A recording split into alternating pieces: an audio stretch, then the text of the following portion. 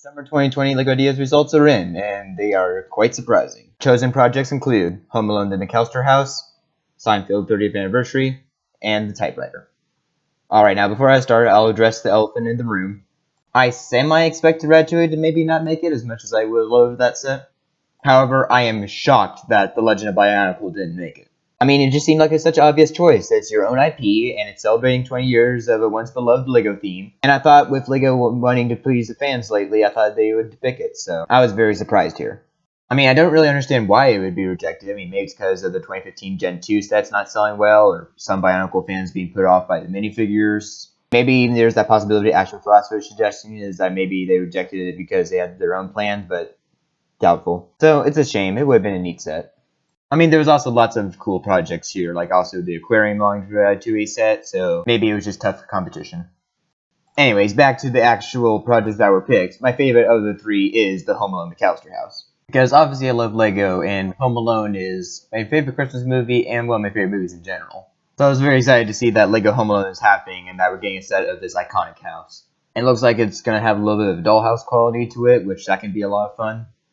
And of course, even get to recreate the different amazing moments from the movie. Although I don't know what that piano is all about.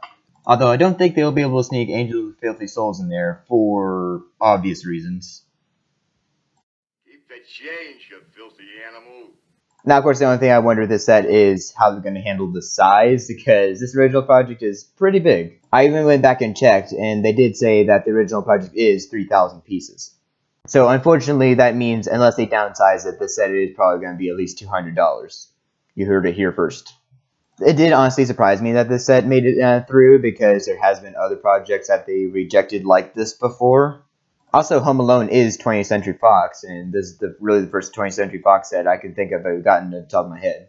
It could also be because Disney buying Fox and having a reboot on the way. However, it's definitely a pleasant surprise, and again, my Christmas season isn't complete without this movie, so can't wait for the set to go with that.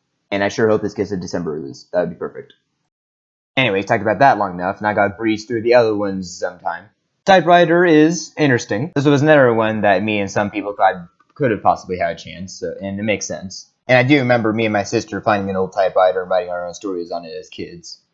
It looks like it is supposed to be a working typewriter, so that'd be neat to try out. My only concern with this set is, sure, the set will work for the adults who remember typewriters, but do much kids even know typewriters are anymore? Mean, they could just uh, type on their iPhone 12s now. And also, similar concern to the upcoming piano, I do worry that they could overprice it because of the functions. But hey, if it's a decent price, it'll look good on a desk. Alright, then lastly, we got Seinfeld. Phew, good thing I got that right, because sometimes I say Seinfeld. And I don't have too much to say on this one, because I don't have much connection to Seinfeld. I mean, okay, sure, I've seen some clips here and there, and I even had a military brother-in-law whose call sign was from Seinfeld. Oh, and that music. Insert joke with laugh track here.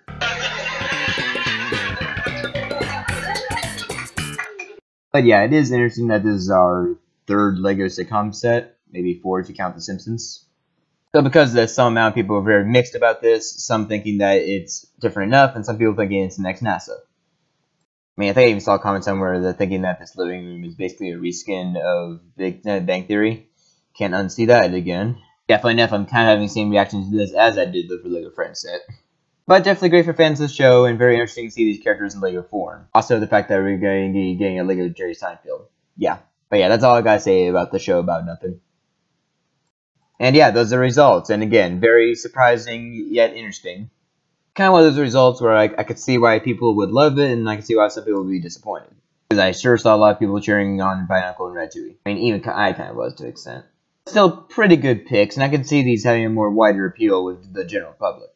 And I can't wait to get my hands on that Home Alone set. I mean, if that doesn't release this December, I'm going to be practicing my Kevin scream. And I can't wait for that massive fall uh, review of Lego Ideas. That's going to be interesting. And the review after that with Avatar. Please approve, please approve, please, please, please. Oh, sorry, watching through it now. Anyways, what do you think of these results? Are you satisfied or are you a little bit disappointed? Let me know in the comments down below.